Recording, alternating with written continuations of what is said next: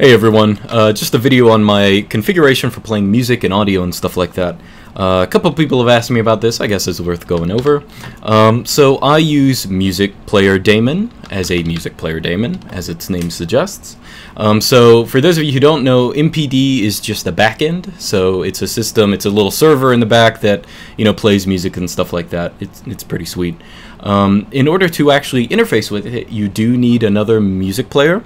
Uh, so it sort of comes in pieces and you assemble it the way you like, but it's pretty simple. Um, so the music player I have is actually right here. This is, um, oh Christ, I always forget. Okay, it's NCMPCPP. Let me write that down actually. So actually, so if you want to go ahead and install all this, right? So, you know, whatever distro you have, I'll just assume you have Arch. Uh, you want MPD, you want NCP in, uh, uh, Christ. It stands for Ncurses Music Player Client Plus Plus.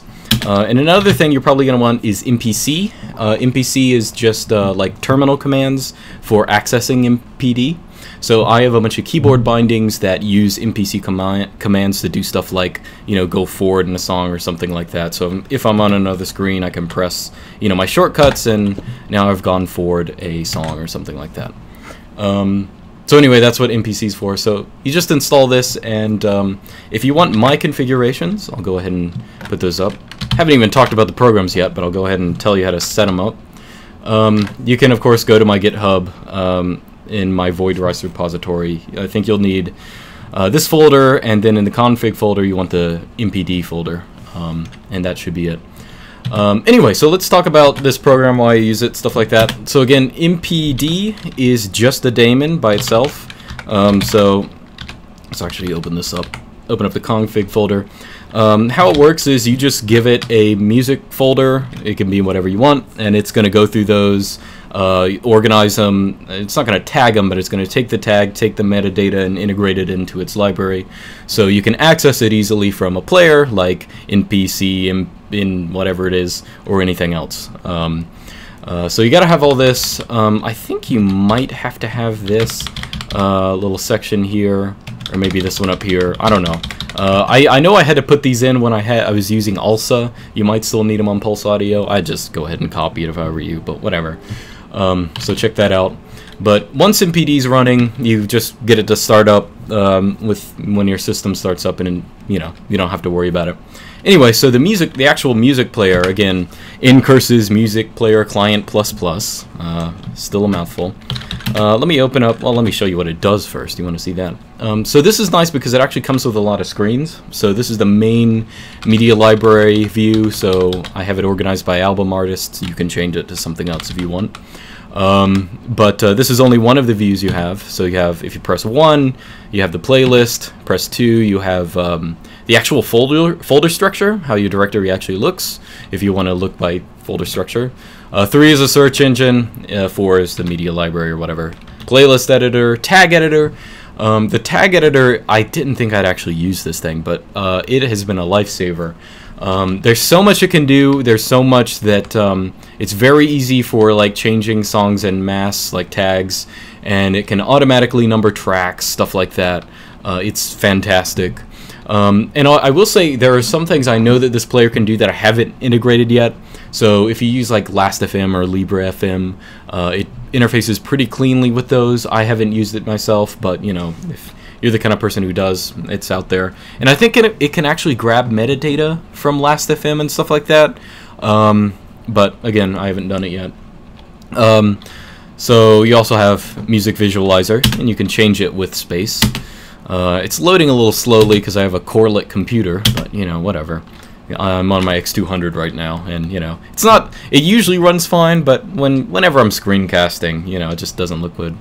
Uh, and you also have a clock if you press plus uh, by default. And of course, you can have multiple instances of this running at a, at the same time.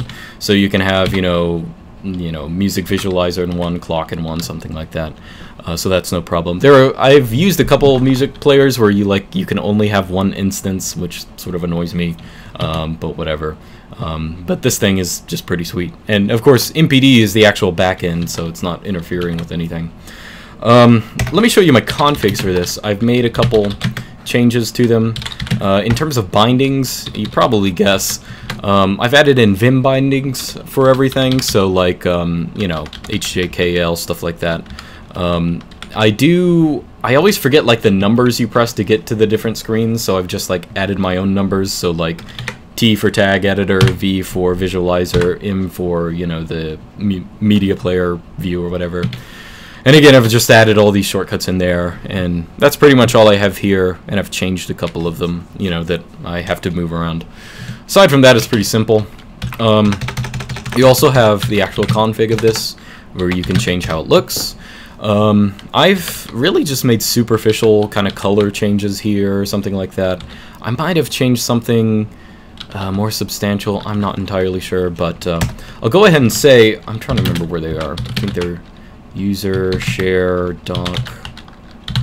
Yeah so if you want to find the defaults they are in user share doc nc etc etc um, and these are all very good very well documented. You can see out here like um, you know so they give you pretty much all the different options you can use and how to play around with them.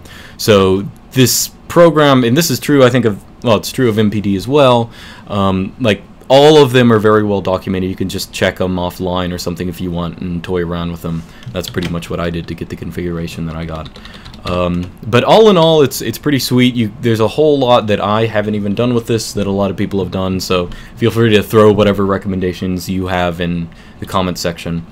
Um, in terms of things that I haven't worked out or I don't know how to do yet, uh, maybe it's just because of my own uh, oversight, there is one thing. I used to use music on console player, which is very good, um, but there is one thing that that has that this doesn't, at least that I don't know that it has or something like that. And that is notice that the music player, like the media library, you have three panes, and this is actually pretty nice because you can you well you can switch between two plane panes or whatever. Um, but yeah, having three panes is very nice for seeing the kind of music that's around. Uh, but when you switch to the directory mode uh, and you're looking at the actual folder structure, you don't have that. And I'd really like to be able to see into these folders. Um, so I don't know. I've looked around for a way to do that. I couldn't necessarily find it. It'd be nice to have that, just because I'm the kind of I have a bunch of like um, compilation CDs and stuff like that, or like things that have different album artists, but I still want in lo one logical folder.